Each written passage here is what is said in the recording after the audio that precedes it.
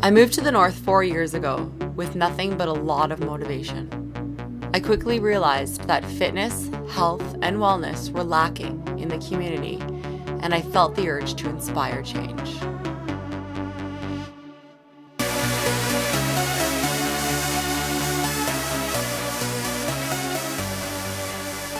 I started my business in June of 2008, offering a fitness class at a local gym. Six people showed up. Today, four years later, around 300 people a week attend my classes.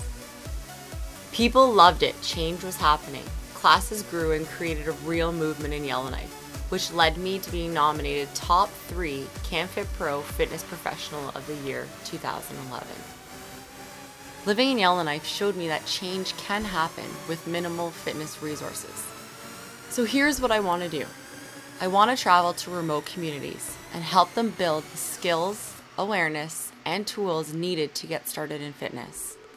Hosting intensive workshops, establishing a community facility, and finding a local fitness liaison to help mentor and continue programs after I leave.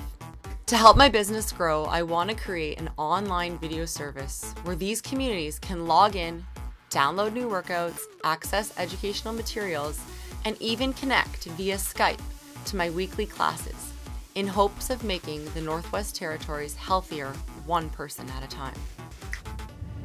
Hey Canada, I'm here in Yellowknife atop a Pilot's Monument. I've made a change here in the past four years, helping people become fitter. I now want to improve my business and outreach to further communities in the North in hopes of making the Northwest Territories healthier and fit to the T.